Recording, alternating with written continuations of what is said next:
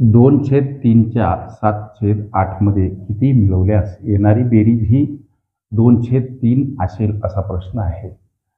दो लक्ष द्या.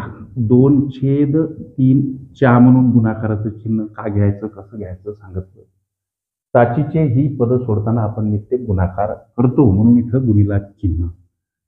दोन छेद तीनच्या सात छेद आठमध्ये किती मिळवल्यास म्हणजे म्हणून इथं अधिक चिन्ह उदाहरणार्थ अधिक यक्ष मिळवल्यास असं गृहित धरू चलपद यक्ष वापरा.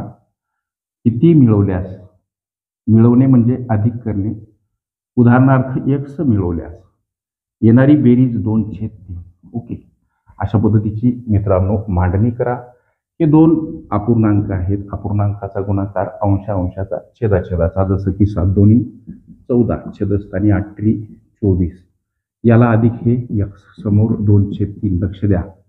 आता चौदा छेद चोवीस अधिक यक्स हा मित्रांनो पूर्णांकयुक्त अपूर्णांक आहे. याचं प्रथमत अंशाधिक अपूर्णांकात रूपांतरण. ते कसं? छेदाने पूर्णांकाला गुणा. चोवीस एक्स हा येणारा गुणाकार. त्याच्यामध्ये हा अंश अधिक असेल तर मिळवा. अधिक चौदा. छेदस्थानी छेद जसाच्या तसा. समोर हे दोन छेद तीन येणारं उत्तर. आता चौदा अधिक चोवीस एक्स चौदा अधिक चोवीस एक्स असेच राहू द्या.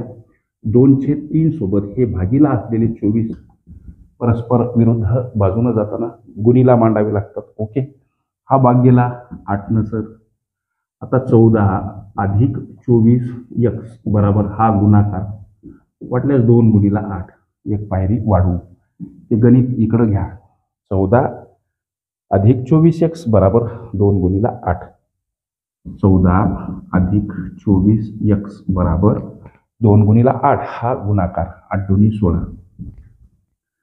आता लेकरांनो चोवीस एक्सला करा एकटं सोळा सोबत हे चौदा. अधिक असलेले परस्पर विरुद्ध बाजूनं जाताना वजा मांडावे लागतात. मांडले सर. चोवीस एक्स बराबर ही वजाबाकी आली दोन. एक्सला करा एकटं दोन भागीला आता हे चोवीस. का गेले सर? कारण ते एक सोबत गुणीला आहेत. संख्या परस्पर विरुद्ध बाजूनं जाताना गुणीला असेल. भागीला मांडावी लागते. बे एक बे बे बारा चोवीस. एक्स बराबर काय? एक छेद बारा. हे या प्रश्नाचं मित्रांनो उत्तर आहे. पर्याय क्रमांक सी मध्ये दर्शवलेलं. ओके.